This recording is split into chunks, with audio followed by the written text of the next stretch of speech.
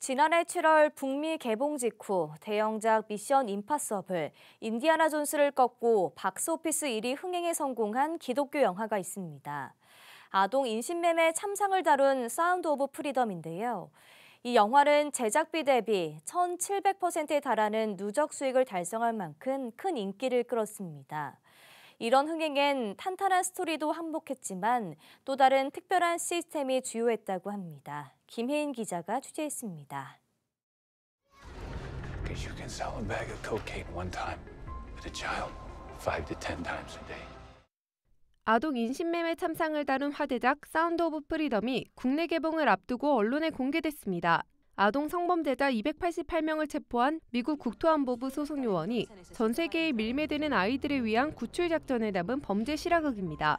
지난 2004년 개봉한 패션 오브 크라이스트에서 예수 역을 소화했던 배우 제임스 카베젤은 실존 인물 팀 벨러드 역을 맡아 냉철한 사명감과 따뜻한 신념을 사실감 있는 연기로 그려냈습니다. 이 영화에서 특별한 부분은 ending credit입니다. 배우 제임스 카비젤이 관객들에게 릴레이 티켓 시스템을 소개하며 티켓 기부가 아이들을 도울 수 있다고 말합니다. An estimated 2 million children are trafficked every year, and we can help them. To spread the word, Angel Studios set up a pay it forward program where you can pay for someone else's ticket who might not otherwise see it. If millions of us come together today to see this film, we could propel the movement to help save millions of children around the world.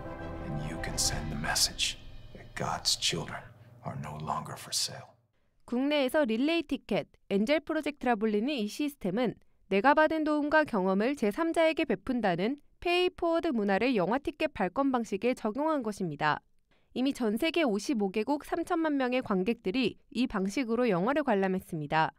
엔젤 스튜디오 홈페이지에서 티켓 코드를 발급받은 뒤 관람을 희망하는 극장 홈페이지에서 코드를 입력하면 무료로 영화를 볼 수 있습니다.